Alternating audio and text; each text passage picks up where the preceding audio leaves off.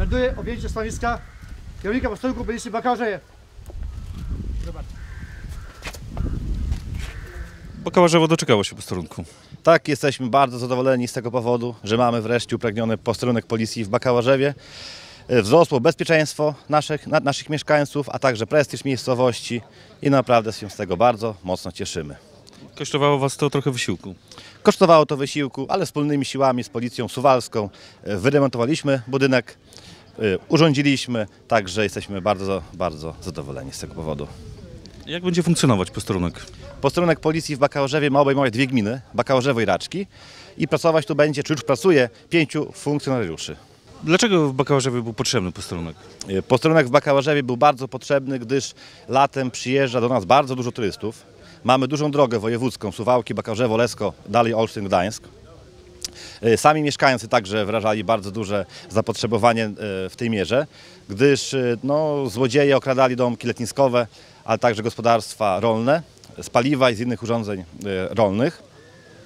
Ale także, dla, także cieszymy się z przywrócenia posterunków w Bakałarzewie, Ranga bakarza wzrosła znacząco i też to jest istotne dla mieszkańców. Pierwszy posterunek, który zostanie przywrócony, ale czy ostatni? E, Pierwszy, myślę, że nie ostatni, ale e, o tym jakby jeszcze za szybko e, mówić. E, prace i rozmowy z innymi wójtami innych gmin trwają. Szanse na posterunek mają szypliszki, tak? Myślę, że w tym rejonie byłby najbardziej zasadny i potrzebny. A co z raczkami?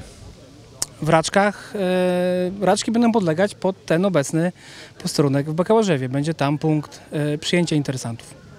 Jak będzie funkcjonować ten posterunek w Bakałarzewie? Czy będą nowe etaty, czy to będą nowi policjanci?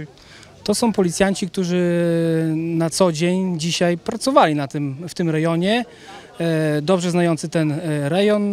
Posterunek będzie się składał z pięciu osób, kierownika, e, trzech dzielnicowych i jednego funkcjonariusza do spraw e, dochodzeniowo-śledczych.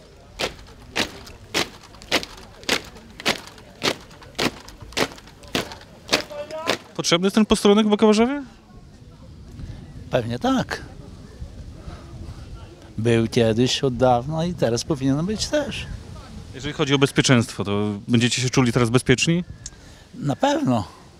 Przedtem z Filipowa, dopóki przyjadą, to różnie bywało. A teraz będzie na pewno bezpiecznie.